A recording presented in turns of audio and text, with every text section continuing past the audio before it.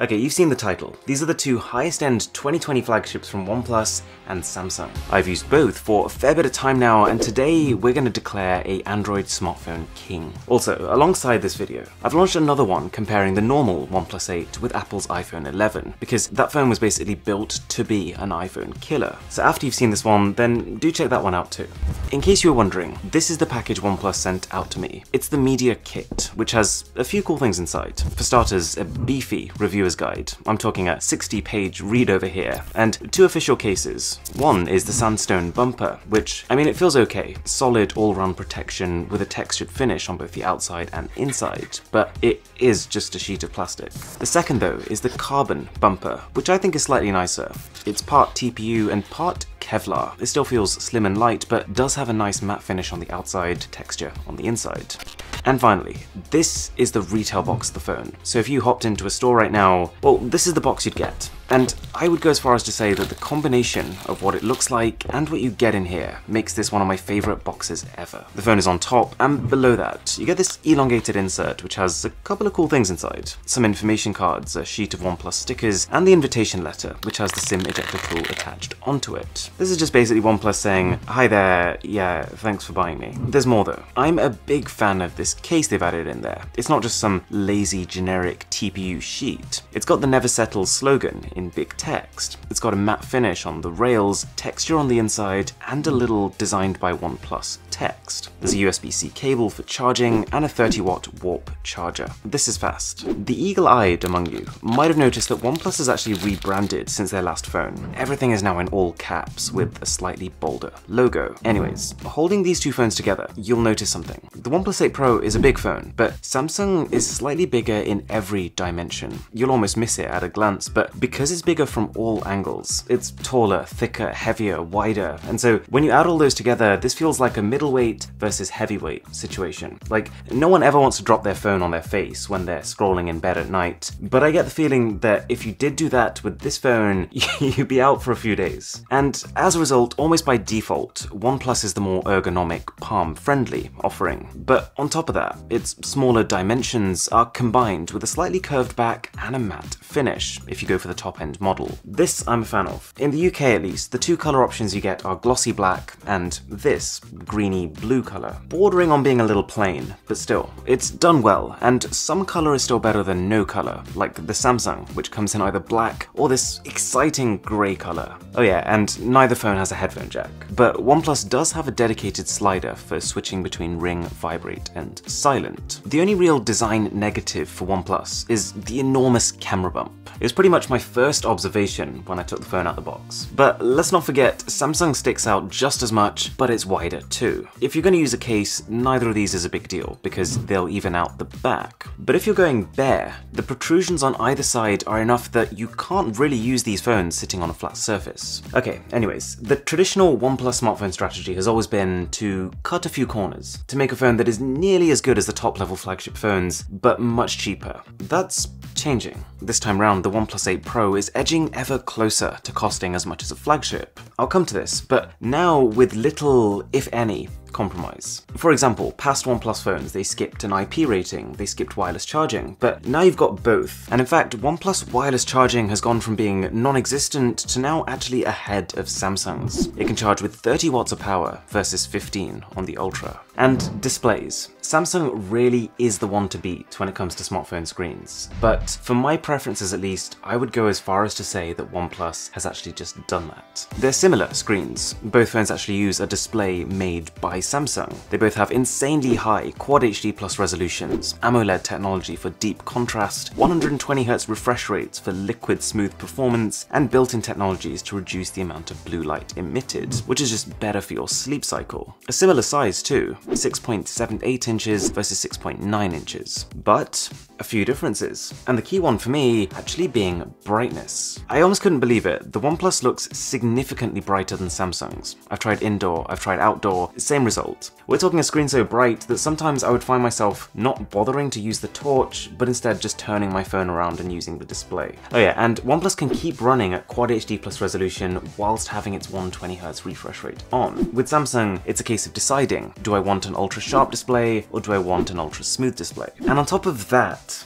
yes, there is more. OnePlus claims they further extend their lead with something called MEMC technology. It's a piece of software that tries to combat the fact that we've got displays here that refresh 120 times per second, and yet most videos are filmed at 24 or 30. So when you're using certain apps like YouTube on this phone, it can actually insert extra frames to make the video appear smoother. But after a bit, I turn the feature off. It causes extra battery drain, and to be honest, while it does look beautiful on videos that are already filmed at say 60 frames per second, when it's trying to upscale videos that are filmed at like 24 or 30, the end result's frame rate is kind of all over the place. It kind of judders. Both phones have an almost sized hole punch. Do you want it on the side or do you want it in the middle? It is completely up to you. Me personally, I'm a corner hole kind of guy you lose symmetry, but it means that when you watch videos, the hole punch kind of disappears. Generally, when you're watching something, your eyes are kind of focused on the center of your screen. So if you have a corner hole punch, it's kind of further into your peripheral vision. The last thing I did notice is the extra curve you get on the 8 Pro's display, which for the most part is just a subjective thing. But I will say that it's just enough of a curve that in some rare cases, when I was holding the phone with one hand, my other fingers would be triggering the edges. And this doesn't seem to happen on the Samsung. And one thing thing I've really got to hand to Samsung is the fact that in the last few years, they've brought their phones up from being some of the more bloated and sluggish offerings to actually some of the snappiest. OnePlus used to have a very clear speed and actually even battery advantage, but I think it's starting to fade.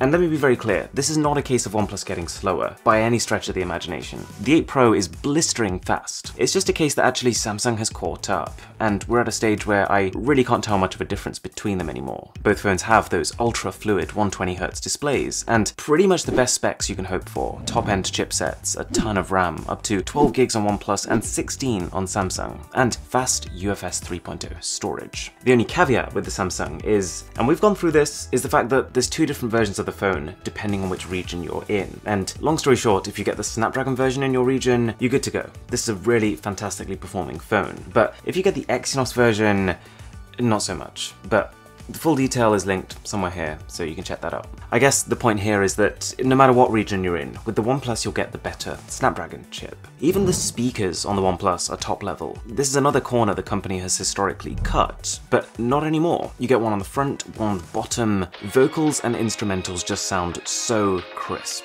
And I would say the volume is comparable between the two. So, at this stage it's starting to seem a little bit like a home run for OnePlus. It seems as if it does pretty much everything the S20 Ultra does, but just at least as good or better, and it's far cheaper. So, does the S20 Ultra even have a place? Well, the one area where I can see OnePlus has saved some money versus Samsung is the camera system. And so while Samsung has a massive 108 megapixel main sensor, OnePlus has a smaller 48 megapixel one. It's a new sensor, it's an improvement from last gen, but not as good as Samsung's. Samsung has a high-resolution telephoto camera that can do 10 times hybrid zoom. OnePlus can do 3 times hybrid zoom. And they both have pretty comparable ultra-wide cameras. But this is where it gets weird. These are both quad camera systems. Samsung's fourth is a time of flight camera to detect depth, but OnePlus's fourth is something called a color filter camera, or in other words, a camera that can view the world in a slightly different way. And I'll give it this, it has been fun walking around and just seeing how different normal day-to-day -day objects look. But honestly, I have really tried to give this thing a chance, and I just don't get it. It doesn't make any sense to me. The camera is low resolution, and it doesn't let nearly as much light in as your main camera. In a best case scenario, your output's gonna look like a really old film, and in a worst case it'll just look like something's gone wrong. Maybe someone will find a really cool use for it, but considering that in my briefing of the phone the company barely touched on it, and considering that the setting for using this camera is hidden away in the filters menu, it suggests that OnePlus isn't that confident in it either. That said, I've spent most of my time with the OnePlus camera actually just being taken aback at how much they've improved the rest of it. It may be cheaper hardware than what's on Samsung's, but in almost every situation the output is at least as good. Past OnePlus phones had some potentially wonky color processing. None of that here. Photos look true to life and crispy, with nice depth of field thanks to a pretty large sensor. And video. The video colors and the dynamic range are stunning and lifelike. It feels like OnePlus has gone right back to the drawing board and built a completely new color processing algorithm that just works. My only current gripe is that while yes, that dynamic range is gorgeous, the focusing is not, or at least it isn't yet.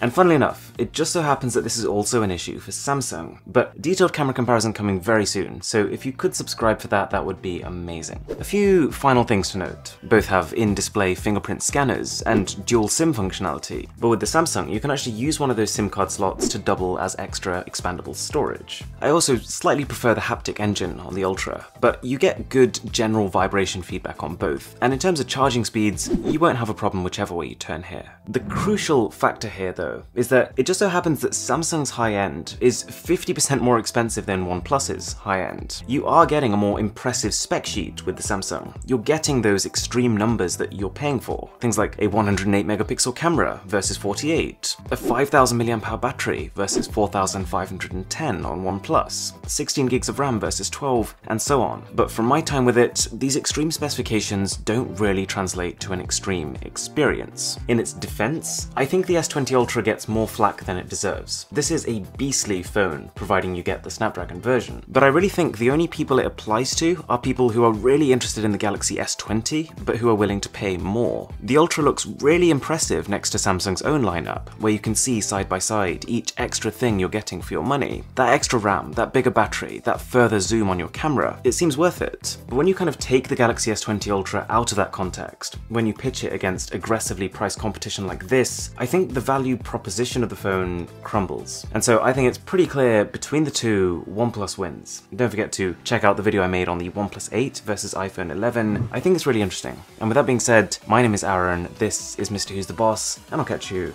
in the next one.